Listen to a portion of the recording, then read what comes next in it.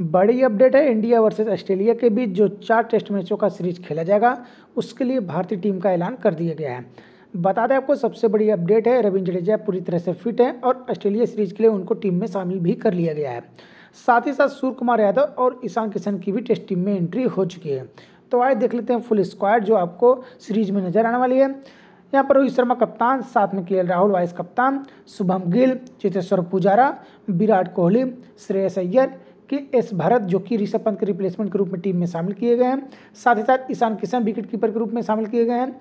रविचंद्र अश्विन, अक्षर पटेल, कुलदीप यादव, रविंद्र जडेजा, मोहम्मद समी मोहम्मद सिराज, उमेश यादव, जयदेव उनाटकट और सूर्य कुमार यादव। भारतीय टीम के लिए सबसे बड़ी खुशखबरी और सबसे बड़ी अपडेट जो है रविंद्र जडेजा पूरी तरह से फिट है और ऑस्ट्रेलिया के खिलाफ जो टेस्ट मैच खेला जाएगा, वहाँ पर आपको खेलते हुए दिखाई देंगे।